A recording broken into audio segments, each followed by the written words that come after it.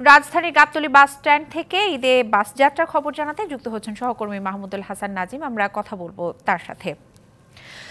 নাজিম, শেষ দিনে যাত্রীদের ঈদ যাত্রার খবর জানাবেন। যাত্রীদের কোনো ভোগান্তি আছে কিনা এবং কোনো অভিযোগ আছে কিনা কি জানতে পেরেছেন? আজ বাদে কাল কিন্তু মুসলিম জাহানের সবচেয়ে বড় ধর্মীয় উৎসব ঈদ উল আজহা। সে উপলক্ষে তারা কিন্তু গত দুই দিনে কিন্তু তারা ঢাকা ছেড়েছেন। আর এখনও যারা কিছু বাকি আছে, তারা কিছু যাওয়ার চেষ্টা করছেন এবং পর্যাপ্ত বাস রয়েছে, সেই তুলনায় কিন্তু যাত্রীর সংখ্যাটা একেবারেই কম। যদি আমি যেটি আসলে গাবতলী বাস টার্মিনাল আছে, সেখানে যদি আমি দেখি সারি সারি যে পরিমাণ বাস রয়েছে, সেই পরিমাণ কিন্তু যাত্রী নেই। বাস কাউন্টার, অন্যান্য বছর যেগুলো আমরা দেখেছি আসলে যাত্রীর উপচে পড়া ভিড় থাকার কারণে কিন্তু আসলে সেই পর্যাপ্ত বাস ছিল না। সেই চিত্রটি কিন্তু এবার পাল্টেছে। আর অভিযুক্ত বরাবরই থেকেছে সেই অভিযুক্তি হচ্ছে আসলে বাস যখন তারা যাত্রী নিয়ে যান, সেই নির্ধারিত যে ভাড়াটি সেটি নিচ্ছেন। আর পরবর্তী সময় যে অংশে তারা ফেরত আসছেন এবং রাজধানীতে ফিরছেন, সেখানে কিন্তু যাত্রী নেই, যাত্রী শূন্য। তো সেই হিসেবে তারা কিছুটা বাড়তি ভাড়া নিচ্ছে। আসলে সেটি তাদের একটি অজুহাত মানে যেটি বাস পরিবহন সংশ্লিষ্ট তারা বলছিলেন।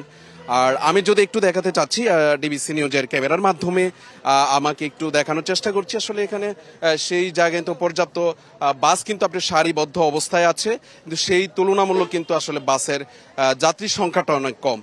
যেহেতু গত দুই দিনে কিন্তু চাপ ছিল একটু বেশি পরিবহন পরিবহনে। আর আজ দুপুর পর্যন্ত কিন্তু বিভিন্ন টার্মিনাল পর্যন্ত কিন্তু একটু চাপ ছিল। কিন্তু সেই তুলনায় কিন্তু সন্ধ্যার পর রাত যত ঘনিয়ে আসছে, ততই কিন্তু আপনার যাত্রীর উপস্থিতি কিন্তু একেবারে কমে আসছে।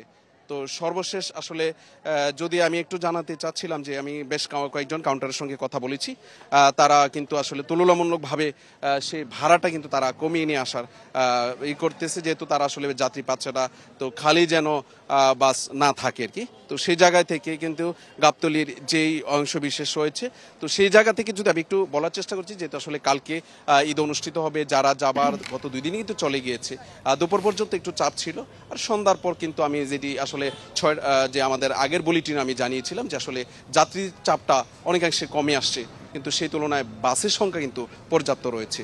তো দিশা, এই ছিল গাবতলি বাস টার্মিনাল থেকে আমার কাছে সর্বশেষ তথ্য। নাজিম, আপনাকে ধন্যবাদ।